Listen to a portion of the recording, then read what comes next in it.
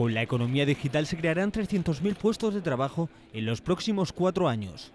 Esta es la estimación que ha arrojado este lunes el presidente de Telefónica.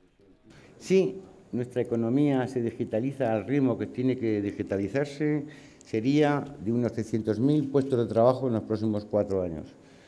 Y en el peor de los casos, si no hiciéramos nada, pues se quedaría una cifra mucho más pequeña, en torno a los 250.000.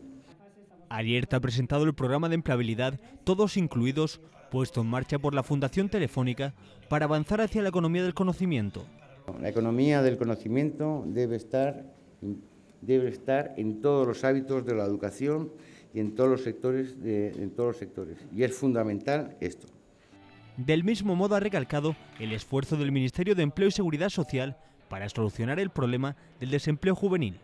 Las medidas y las reformas laborales que ha implementado en, los últimos, en el último año, en los últimos años, están dando ya muestras de su efecto y la tasa de paro se está reduciendo de forma significativamente en el último año, como todos ustedes conocen. En la línea de alerta, la ministra de Empleo ha señalado que el Gobierno para el año que viene invertirá en las personas.